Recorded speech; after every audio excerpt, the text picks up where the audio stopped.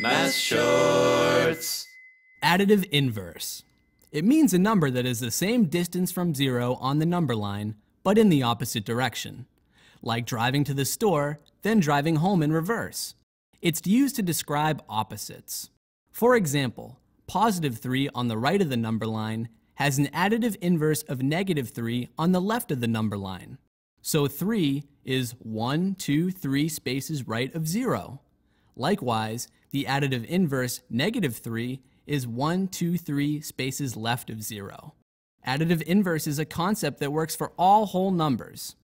The additive inverse of negative 50 gazillion is positive 50 gazillion. It also works for fractions. The additive inverse of negative 1 fourth is positive 1 fourth. Figuring out the additive inverse seems easy, and it is. Pick a number. The additive inverse of that number is the one that makes zero when added to it. Visually, this means they are equal distance away from zero on the number line. You can use it to describe opposites. If you did a front flip on a trampoline and then did an additive inverse backflip, then you'd be right where you started. That's additive inverse, a number that is the same distance from zero on the number line, but in the opposite direction. When you add them together, you get a big fat zero.